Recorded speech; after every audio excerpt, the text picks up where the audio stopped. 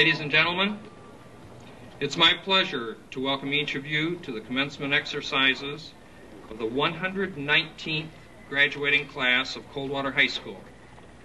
Would you please rise and join in the singing of our national anthem and remain standing for the invocation, which will be offered by Reverend Kenneth Sherpick, St. Mark's Episcopal Church.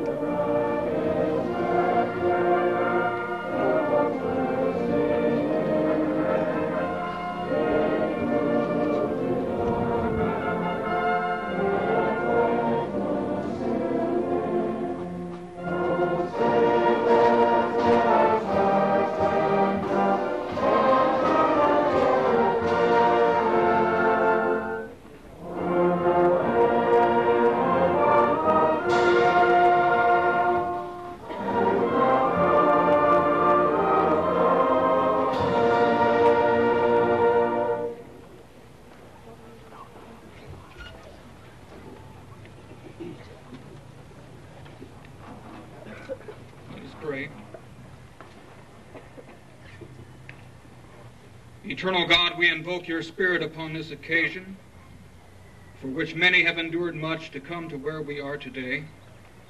Student and teacher, administrator and benefactor, parent and friend.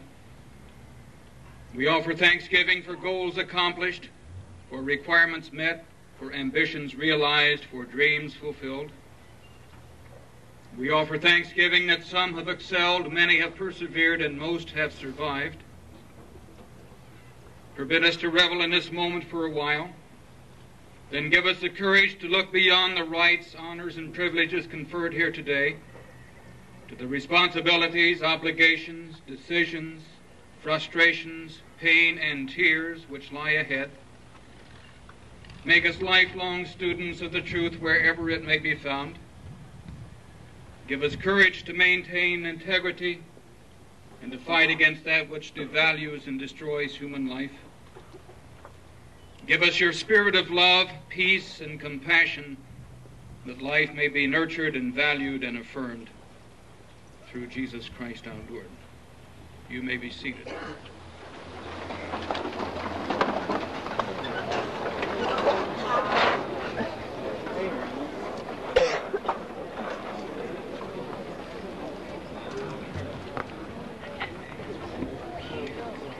Welcome, fellow graduates, faculty, friends, and relatives and parents.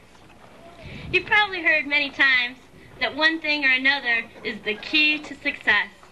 Well, I'd like to present the idea that teamwork is truly the key to success. Take a look at the Chrysler Corporation. Before Iacocca came to Chrysler, the company was failing. Every employee was doing his job, but the employees were not working together. The teamwork was not there. We, the graduates, are part of a team. Our team includes our community, parents, friends, and educators. As, as students, we have looked to the other members of our team for knowledge, time, encouragement, and patience. Each member of this team has done his part to help us reach our goal today, graduation. We as a class are also a separate team. We must remember that each person has, is just as important as another, from Adams to Zabonic. An example of the successfulness of this idea is the Japanese automobile companies. The Japanese treat every employee as a significant member, from janitor to president. Our class team has added new members and lost members by people moving in and out of the CHS district. But we have also lost two members through death. At this time, I'd like to ask for a moment of silence for Terry Henry and Robert Burleson.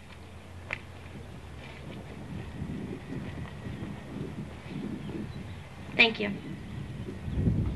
This teamwork involves a delicate balance. Our basketball team showed a balance of abilities. They worked hard together towards a common goal and brought success to this complete team. A parallel may be made between the designing of a car and the creating of a successful life. To quote Lee Iacocca, take air conditioning for example. If you're paying an extra $700 to keep cool in the summer, you want your money's worth. Whoever designs the air conditioning system has to remember it's no good if it takes 30 minutes to cool down the car, because most trips are over by then. So you need to install high-speed blowers. But they can't be too noisy, because the guy driving the car wants to listen to his $300 stereo while the air conditioning is on. The air conditioning guy can't say, that's not my problem, I just want to cool him down. He's got to integrate his part into the total system of the car, just as each member of the team must integrate his part into the road to success. Now I'd like to discuss my support team at home. I'd just like to wish a happy 58th birthday to my father. Happy birthday, Dad.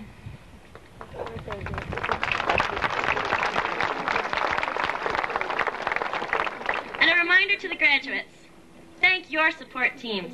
Without them, you wouldn't be here today. I wish all of you the best of luck with your future plans. Remember to always do your best as a member of whatever team you choose on your road to success. May God bless each and every one of you. Thank you.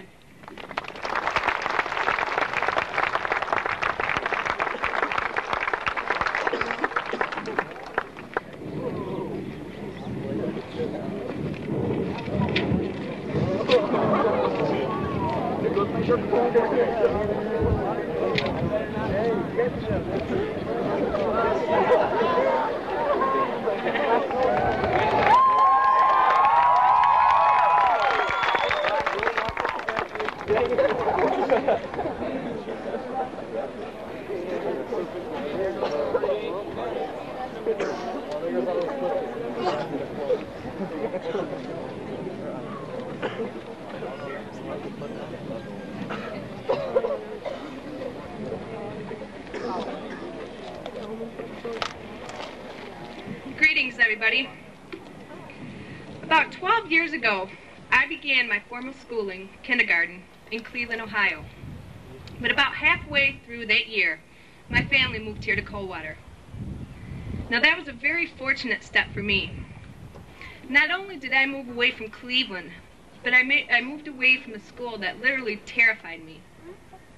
I moved away from a threatening and domineering teacher who I so fondly referred to as Mrs. Soggy Tomato. And I moved away from a teacher who tried to convince my parents that I had a learning disability it would be very difficult for me to learn. I moved away from a very unfortunate and destructive situation. But more importantly, I moved to Coldwater, to a very positive learning place. And thanks to my kindergarten teacher, Mrs. Wilcox, my attitude changed very quickly. Only then could I start doing something productive. And only then did I start learning about what a fantastic thing the mind really is. Each person comes to this earth unarmed. His brain is his only tool. Nothing is given to man on earth, and everything he needs has to be produced. Man cannot survive except through his mind. And to maintain life, he must plant food or he must hunt it. But in order to plant, a process of thought is necessary.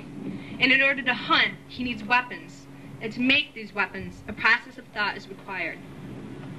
Now, from man's simplest necessity to the highest religious abstraction, everything we have and everything we are comes from a single attribute of man the function of his reasoning mind.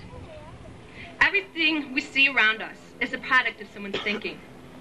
The simple invention of the wheel, the high school standing over there, and the skyscrapers we see in the big cities are all products of the reasoning mind. Now, this reasoning mind is an attribute of each individual. There are no collective thoughts or brains. Sure, compromises, divisions, sharing exists, but these are only secondary. The primary act, reasoning, is performed by each man alone. You can't think for another person just as you cannot breathe for another person. All functions of the body and spirit are private and cannot be shared or transferred.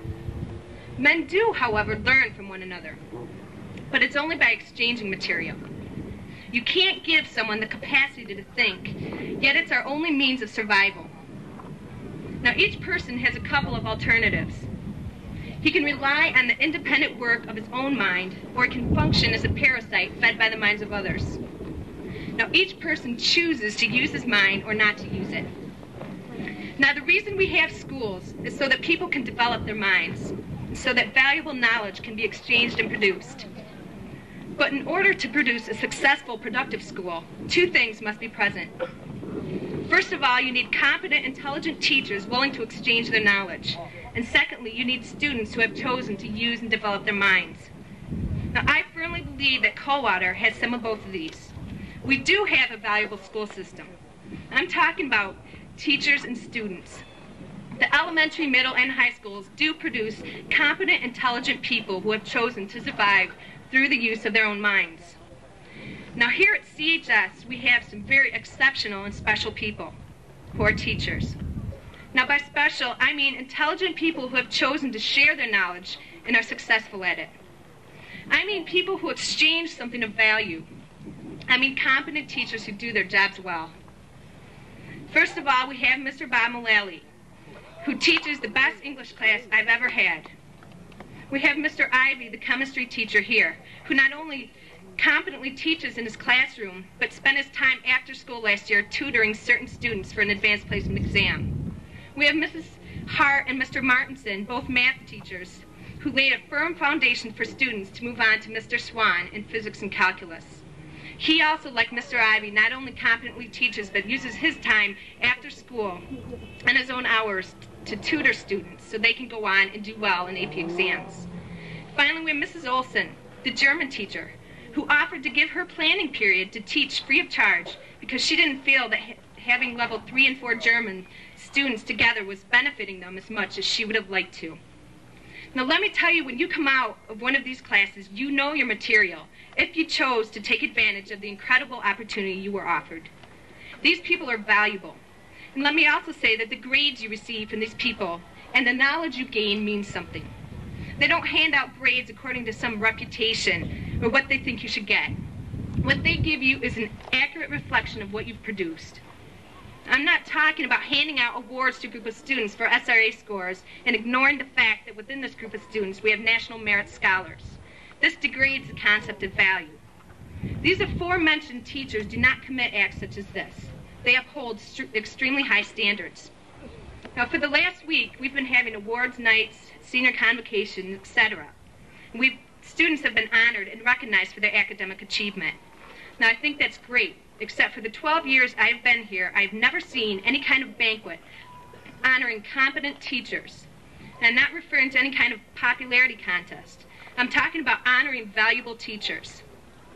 To all competent teachers I've ever had in my 12 years in Coldwater, I would like to say I commend you and I thank you for giving me and many other students here the opportunity to use our minds.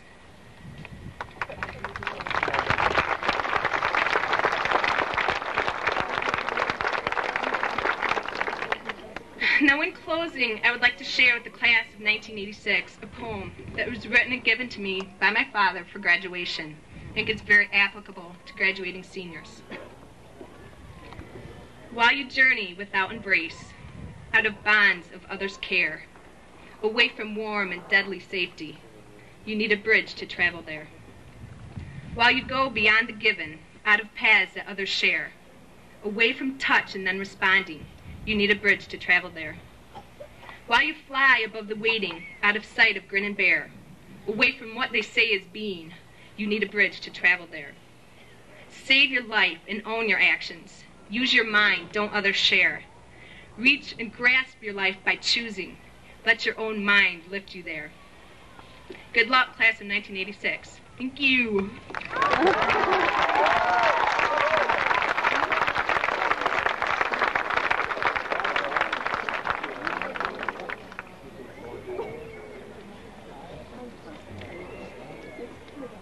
Friends, relatives, faculty, and graduating class of 1986.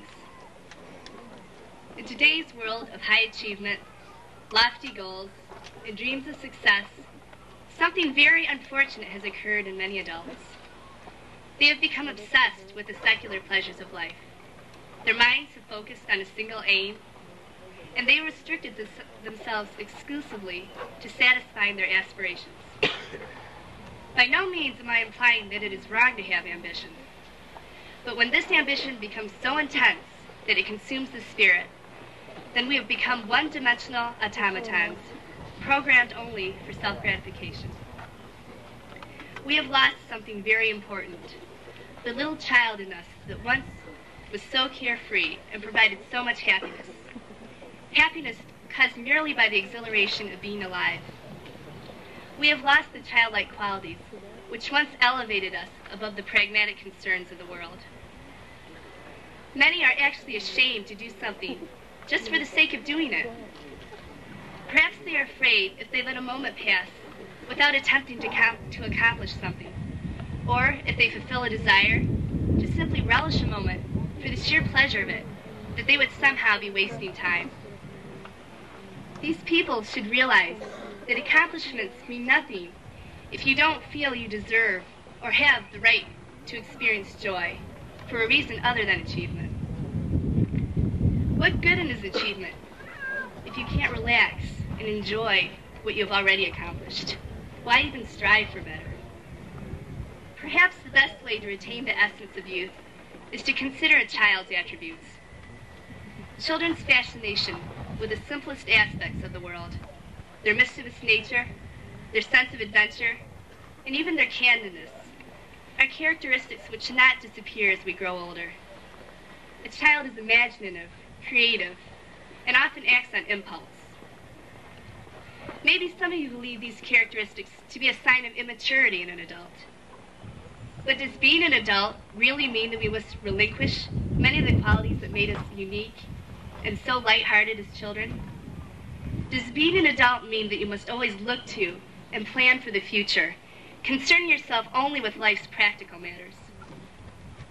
If this were what constituted being an adult, then we would be living in an extremely dull, mundane world. I think one of the worst things that happens to people as they grow older is that they lose much of their faith and trust in others. They become more defensive and skeptical of new ideas. We should follow a child's example and place more confidence and trust in others. If we are constantly suspicious and on our guard, we could be denying ourselves the pleasure derived from meaningful human relationships. My fellow graduates, let's not use, lose our youthful enthusiasm for life, for the world's smallest wonders. Don't let there ever be a necessity to, necessity to recapture your youth. Let your vigor and zest for life always have remained intact. In closing, I would like to thank all my teachers for putting up with me during the past four years. And most of all, I want to thank my parents for their devoted and unconditional love throughout the last 17 years. I love you.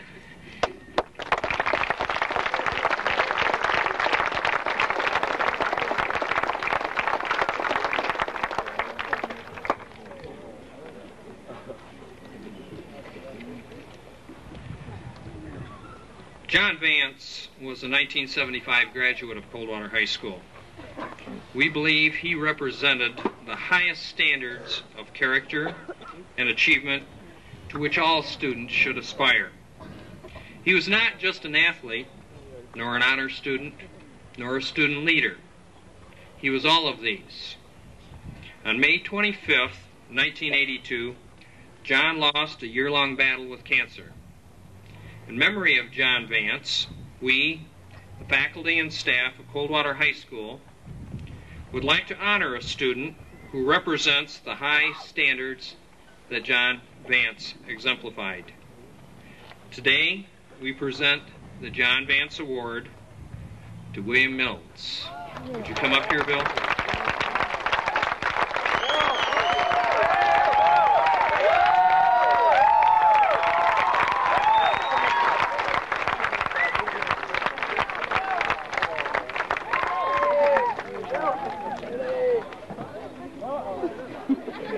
Don't worry about it, Bill.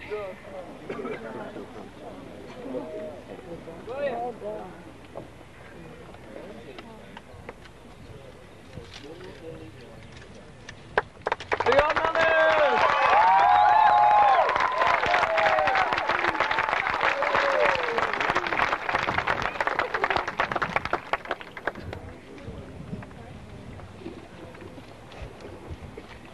Will the members of the 1986 class of Coldwater High School please rise?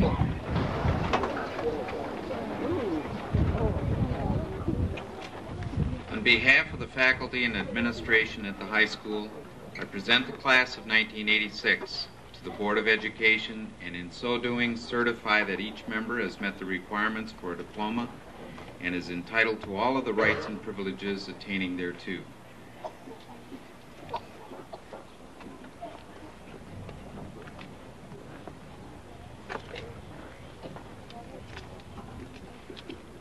Congratulations, seniors, and also to your families and friends who supported you to get you to this place. This is without a doubt the most pleasant job assignment I've had as president of the Board of Education. By the authority of the state of Michigan, vested in the Board of Education, and by them delegated to me as president, I hereby confer upon you the diploma of Coldwater High School. Please be seated. Will the graduates please come to the platform to receive their diplomas?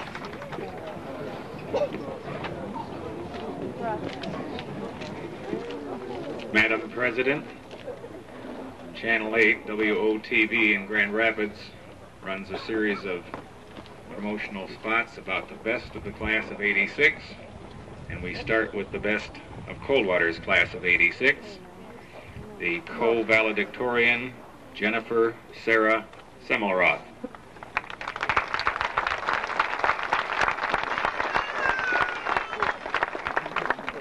The second co-valedictorian, Christine Ann Wu.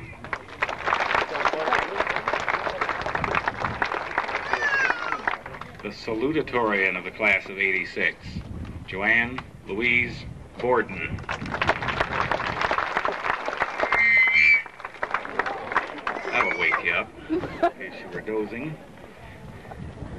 Thomas John Shirey.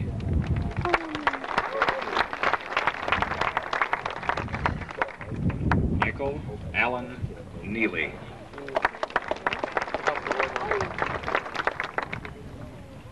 Jenny Leah Balzo.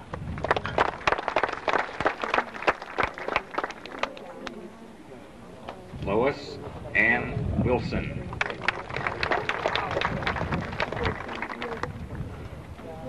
Valerie Joanne Heater. Karen Sue Herman.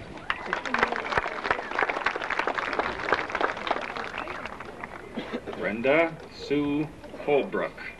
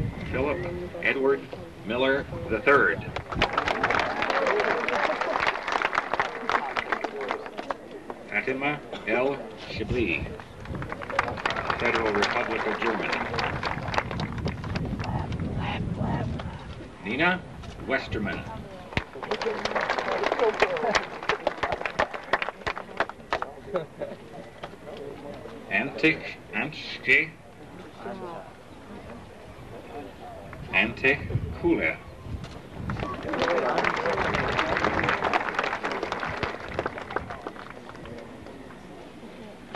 Ken James Hustis.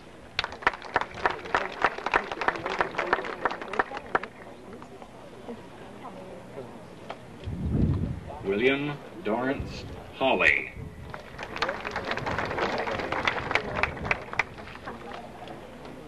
Kelly Christopher Hopkins.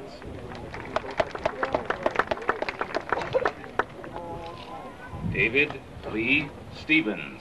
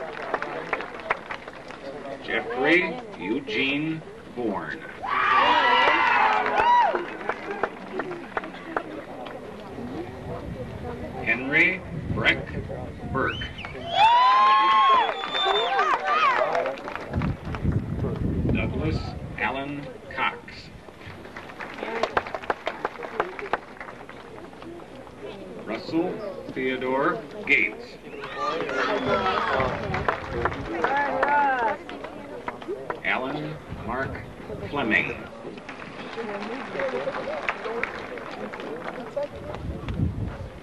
James Arthur Graholski.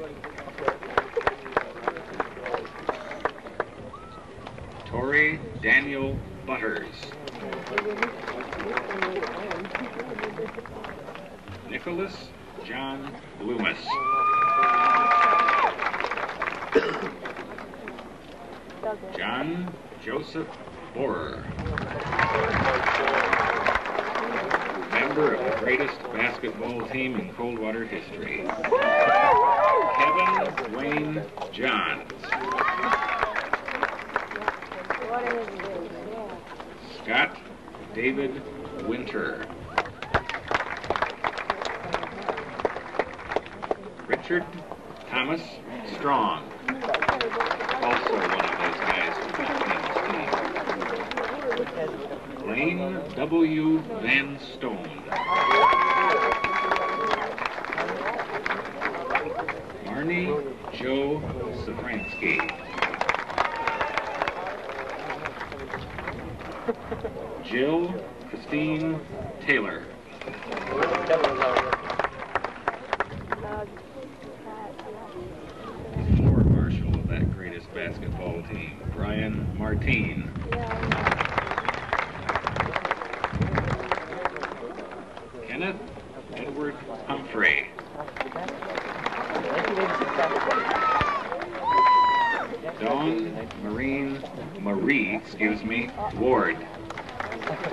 we had, we had other people in the house, too. Lynn, Leanne, Kelly, Tackett.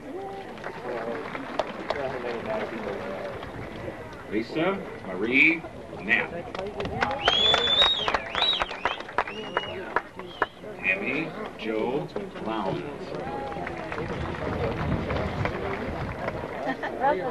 Stacy, and Roloff. Kathleen Ann Ferris.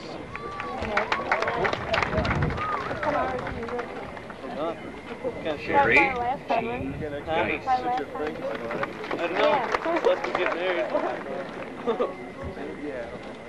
Tracy Ann Winger.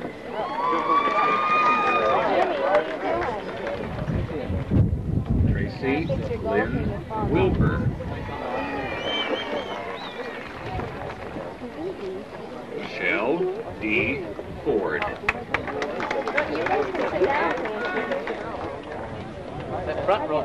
Timothy Richard Bettinger.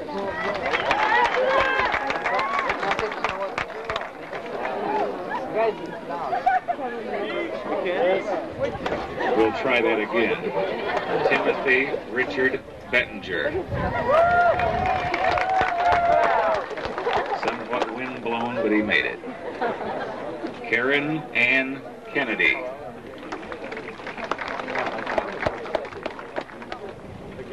Kimberly Sue Philbrick. Amy Beth Cranham.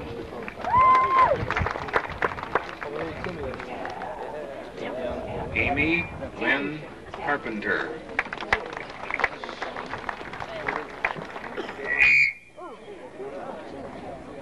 Did you hear that? Anne Michelle Holcomb. Patricia Ann Ross.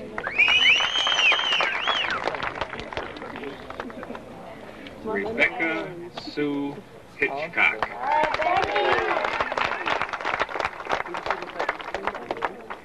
Marianne Love.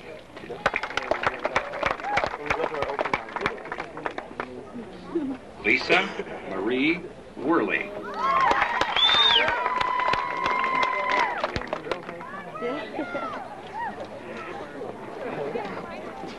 Lisa Marine Thompson.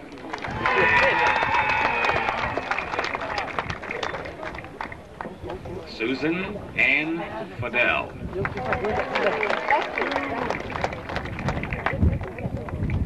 Carol Louise Geisinger.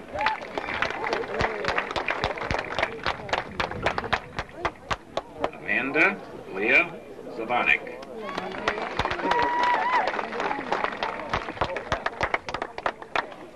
The president of the class of 1986, Linda Michelle Buttery. Heidi Ann Scott.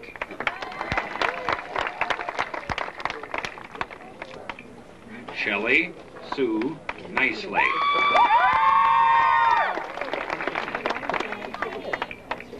David Lee Smith.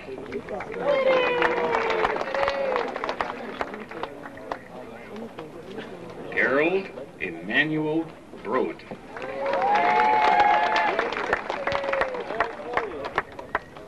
Andrew Robert Ackmoody. Stephen J. Litley.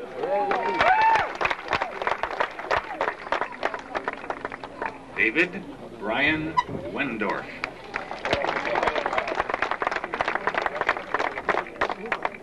Justin Michael Downs.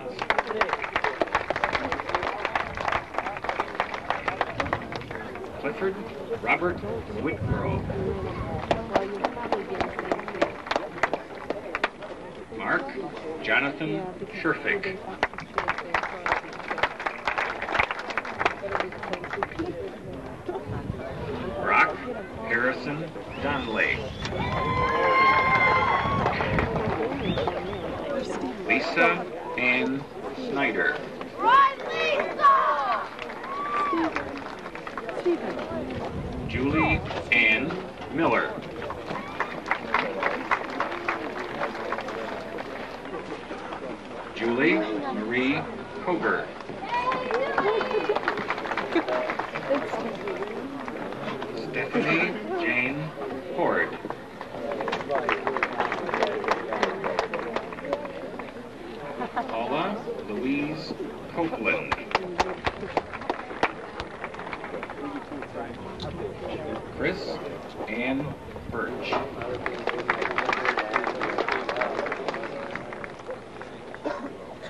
Amy Joe Carnahan.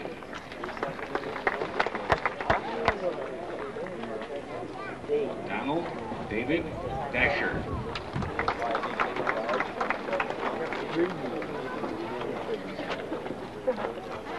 Catherine Ann Hollingsworth.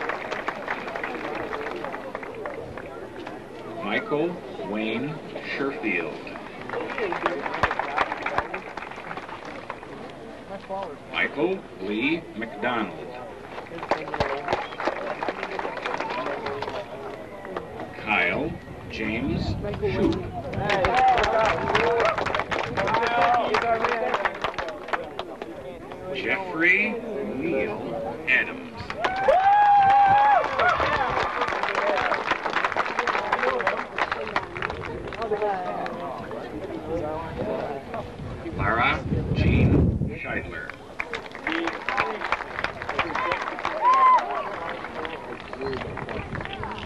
Cynthia Lynn Rupp.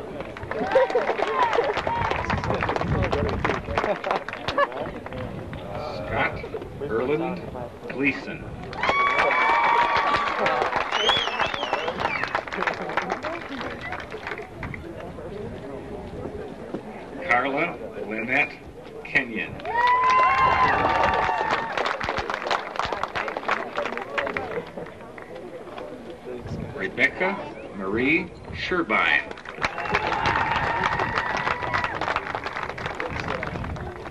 Stephen Anton Dutcher.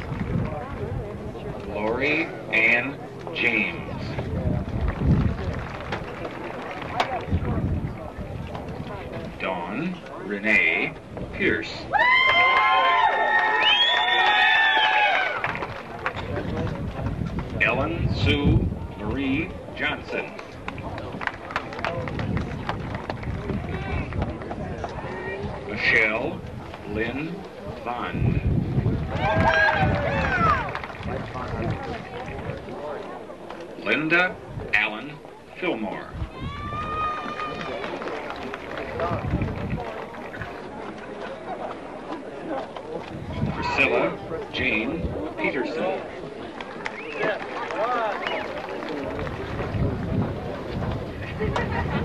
Cindy Sue Briggs.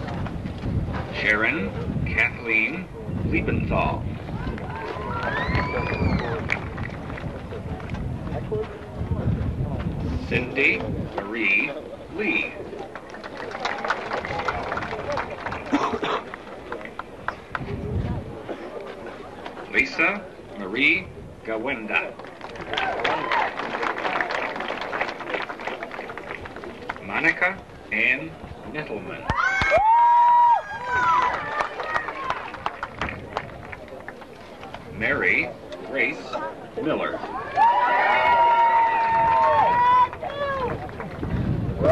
Terry Sue Kelly.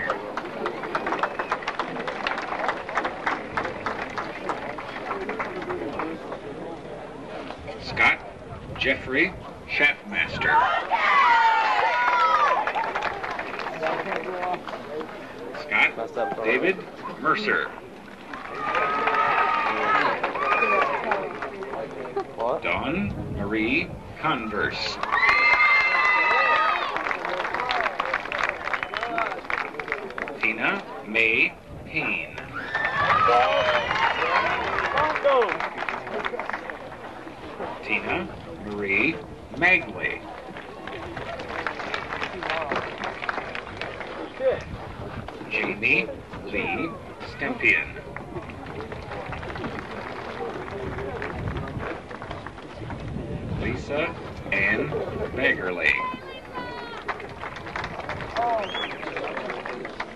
Kenneth Bradford Wallace.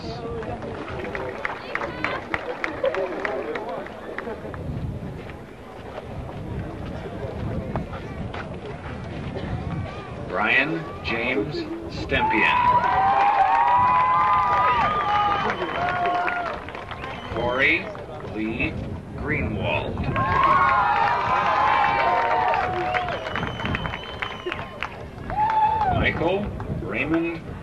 Wilson. Monte Martin Scott. Dean Allen Tobolsky.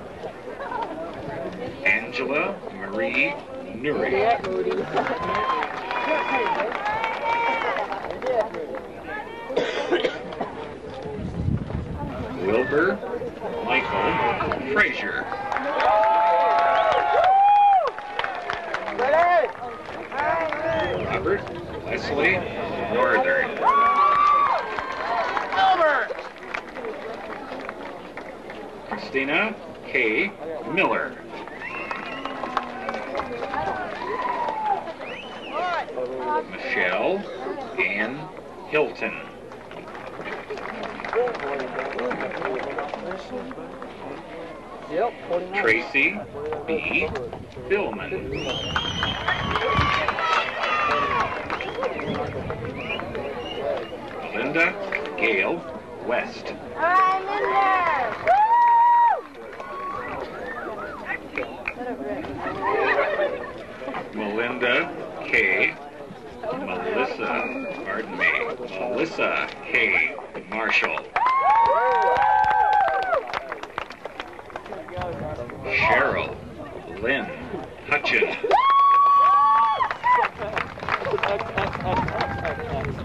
Bailey and Snyder.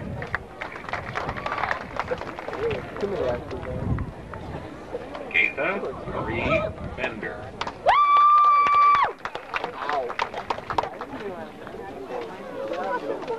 Melinda Lynn Ford.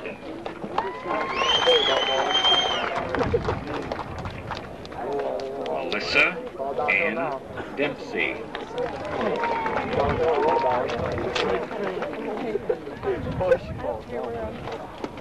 Ray Heath.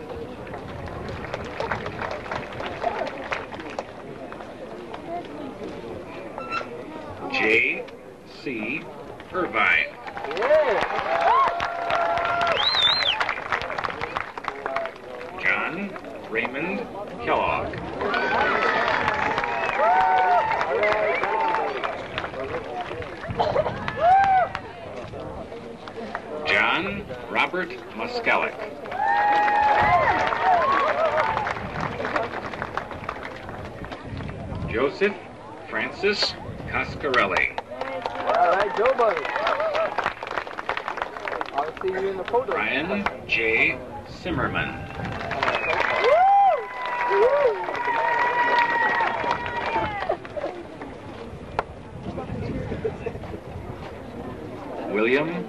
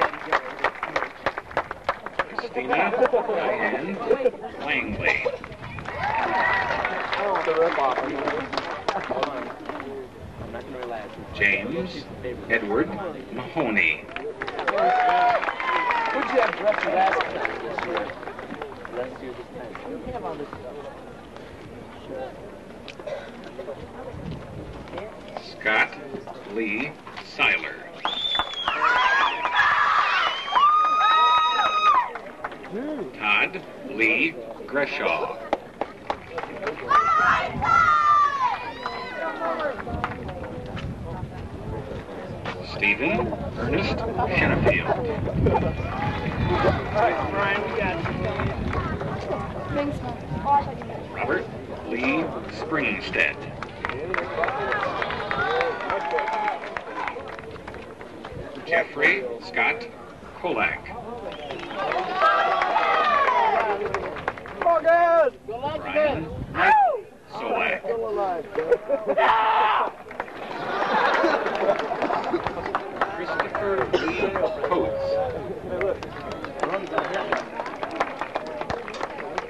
Timothy Paul Mahaffey.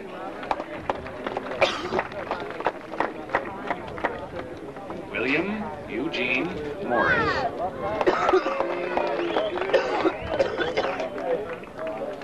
Greg Joseph Tackett. Nicholas Lee Gibson.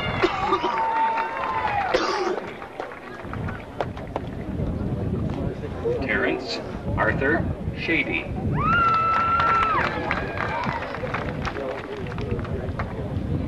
Jeffrey Lynn Spencer.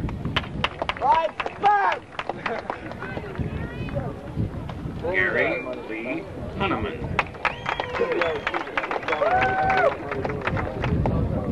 Bruce Martine.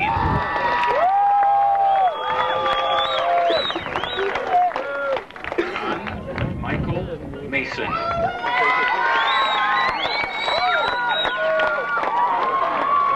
Mark Allen Baroni.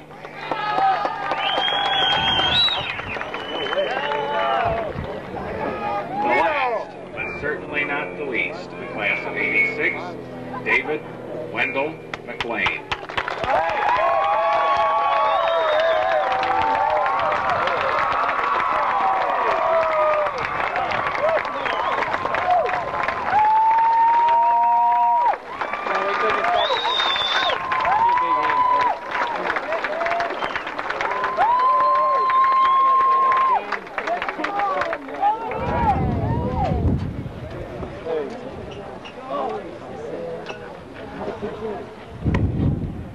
Members of the class, very proud of you. I'm sorry I could not follow through on my promise to you. It's we are at 54. Members of the class of 1986, I welcome you as alumni of Coldwater High School. Would you please rise and be presented to this audience?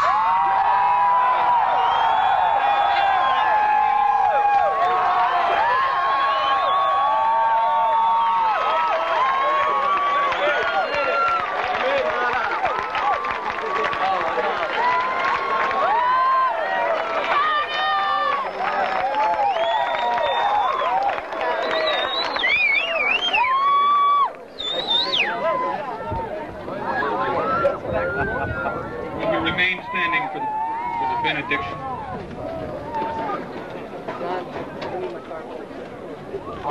Let us pray. Almighty God, by the hand of Moses, you led your children out of the wilderness.